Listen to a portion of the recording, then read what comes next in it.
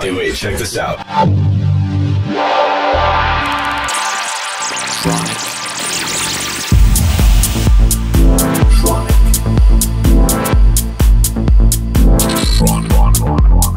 Tronic. Tronic. Tronic. You're listening to Tronic with Christian Smith.